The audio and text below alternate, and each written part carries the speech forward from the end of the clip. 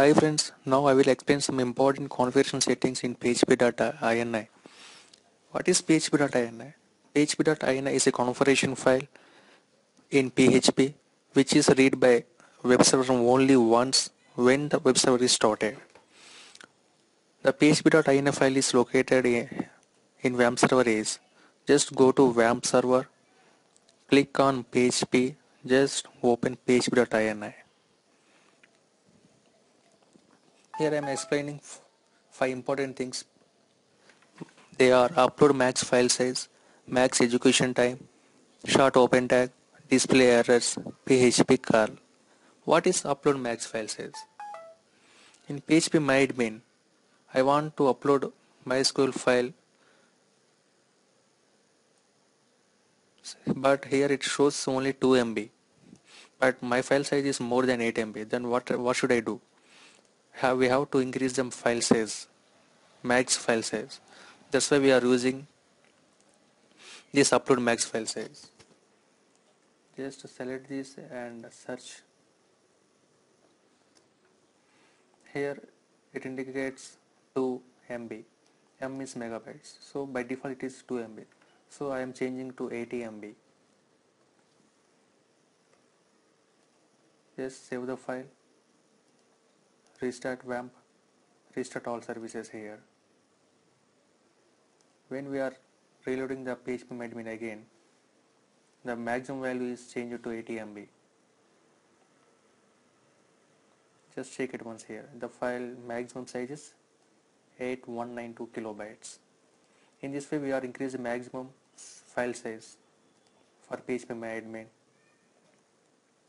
The second thing is max execution time suppose our PHP script needs to execute more than 30 seconds then we can increase this value. By default max execution time is set to 30 seconds.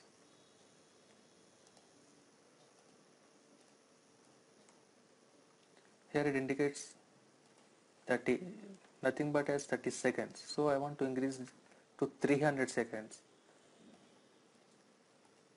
Save and restart WAMP again. So the PHP script is executes more than 30 seconds. If the script contain more huge lines of code. The next one is short open tag. Short open tag means in PHP you are writing like this. PHP less than question mark PHP echo hi or less than question mark PHP dollar C equal to 10 echo dollar C and ending tag of PHP question mark greater than but I am writing like this suppose it is less than question mark equal to dollar C semicolon question mark greater than this is nothing but short open tag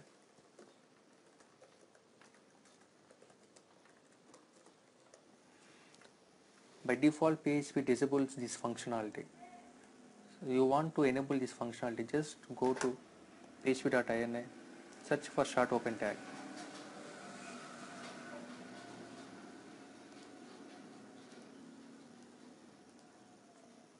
By default it is off so just change to on.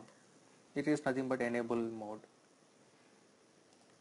Save php.ini similarly restart WAMP again. Now PHP supports a short open tag now. Next thing is display errors. In development mode we are open we are seeing the watching the errors in PHP script. But in production mode we want to disable these errors. That's why we are using this display errors disable. So just copy display errors and search here by default it is on. So when we are trying to move to production just change it to off. Now the user can't be able to see these errors. Save the php.ini and restart WAMP again. Last one is php curl. What is php curl?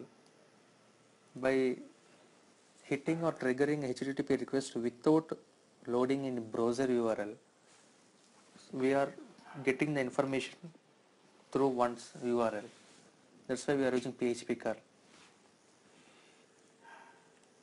So you want by default PHP curl is disabled in php.ini.